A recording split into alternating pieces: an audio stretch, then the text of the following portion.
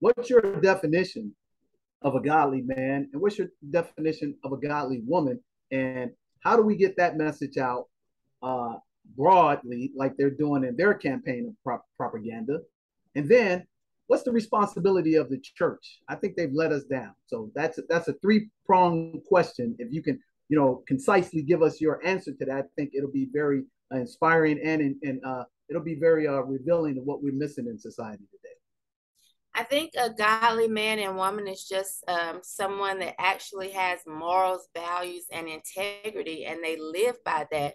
Um, you know there's so so much temptation out here but i think a godly man or woman understands that okay there there's temptation out here but this is my purpose in this earth realm and this is what i'm supposed to do and this is what i'm going to do to fulfill my purpose in this earth realm when it comes to the church yes, the church has really let us down because the church started um, to keep members, you know, they realized, I guess, oh, my church is full of women. So let me just cater to the woman and make her feel like she is this, that, and a bag of chips. And they started teaching this message as well that you can do bad all by yourself. All you need is Jesus. As long as you got King Jesus, you don't need nobody else. Well, Jesus is not right here. I mean, you know, of course, you have this relationship with him and he'll uh, teach you and tell you which way to go. But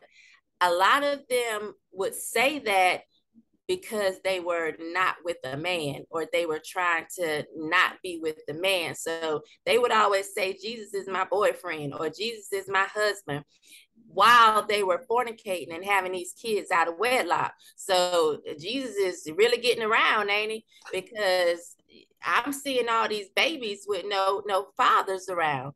So I think the church let us down, and the church just started really being passive to the alphabet mafia. The church stopped preaching sin because, you know, preaching against sin because it was hurting people' feelings. And when I, I remember being young, um, you know, maybe 18, 19, 20 years old or whatever, and sitting in church, and the preacher could get up and I would think, oh my God, was he looking at me last night? Did he know? Like he'd be all in my business.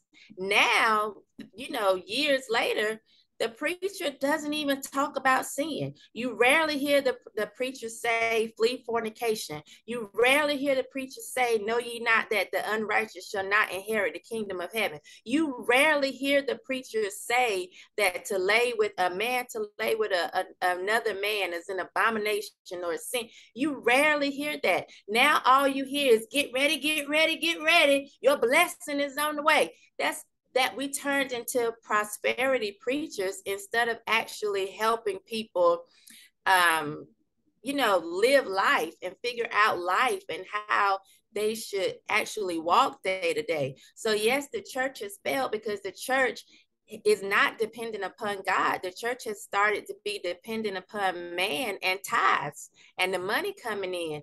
And you can't serve God and mammon. And so the church, yes, has failed us because they have started to bow to people instead of to God.